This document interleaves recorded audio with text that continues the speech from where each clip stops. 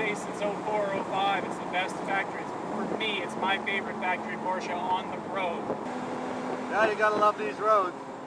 You gotta love this car on these roads. Absolutely. You know, I mean, this is what a Porsche to me is all about.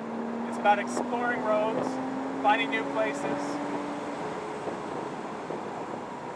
And loving it, wanting more of it and more yeah. of it mentioned earlier the flow of this car and the way it flows down the road. I mean, just look at this. Yeah. Light hands,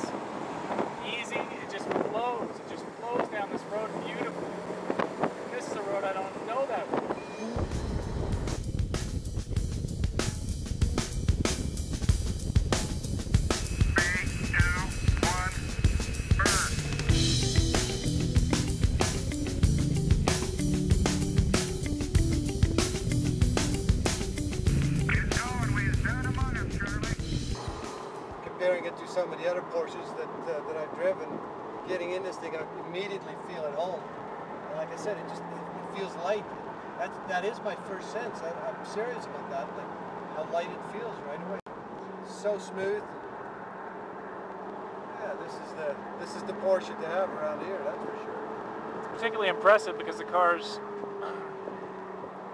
this particular car has the air conditioning and the radio added back in. You've got a lot of the items that Porsche removed to get that 176 pounds out of the car. Uh, so it's probably got another 40 to 45 to 60 pounds extra back in out of that 176. And yet the car to me also feels lighter than a normal Boxster. I think part of that key is where the weight has been saved. A lot of weight's been saved up high in the car. May well be, yeah.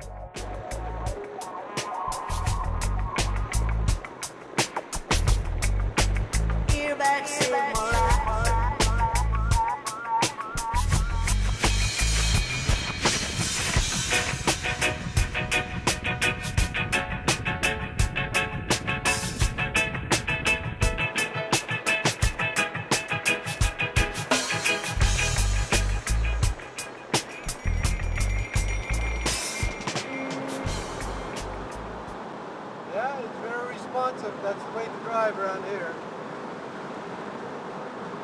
Or, uh, it's it's uh, the, the sportier suspension as well, right? You can just feel that right away. Just uh, engine response. It's got that little different engine response as well.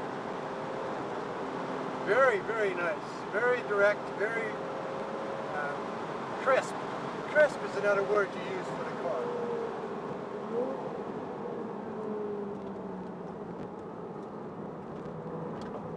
Gotta watch a little bit of that gravel on these key mountains.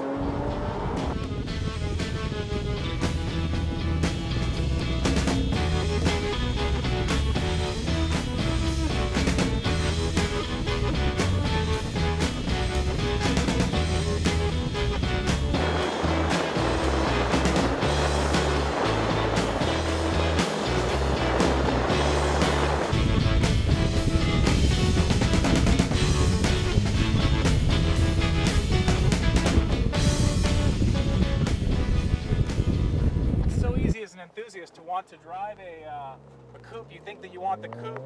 The coupe is the harder core option, but this car, this car is harder core than the Cayman S. At least the Cayman S as we know it. If Porsche does a more a more extreme version of the Cayman, then well, then we'll have to revisit the subject. But right now, the hardest core option in the 987 line is this car, the Boxster Spyder. And you know, like the Carrera GT, it reminds me of driving an open car is just wonderful. I mean, on a back road, an open car is just so pleasurable. This is what it is all about, enjoying the drive like this and smelling the trees at the same time. Exactly. You know? Yeah, when I first saw the materials in this car, I thought it's a bit of a marketing exercise.